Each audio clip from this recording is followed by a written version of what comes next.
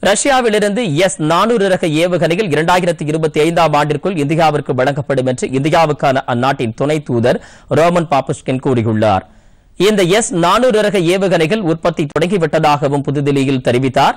S முன்னூறு ரக ஏவுகணைகளின் மேம்படுத்தப்பட்ட வடிவமைப்பே எஸ் நானூறு ரக ஏவுகணையாகும்.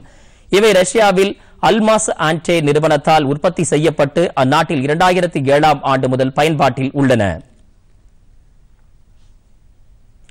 இதனிடையே காஷ்மீர் பிரச்சனை இந்தியாவுக்கும் பாகிஸ்தானுக்கும் இடையே உள்ள இருதரப்பு பிரச்சனை என்று ரஷ்ய தூதர் நிக்கோலை உதாசிங் தெரிவித்துள்ளார்.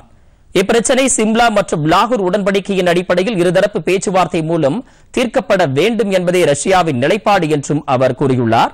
வரும் மார்ச் இருபத்தி இரண்டு மற்றும் இருபத்தி மூன்றாம் தேதிகளில் ரஷ்யாவில் நடைபெறும் இந்தியா ரஷ்யா சீனா இடையிலான முத்தரப்பு பேச்சுவார்த்தையில் பங்கேற்க வெளியுறவு அமைச்சர் ஜெய்சங்கர் ரஷ்யா செல்ல உள்ளதாகவும் அவர் தெரிவித்தார்.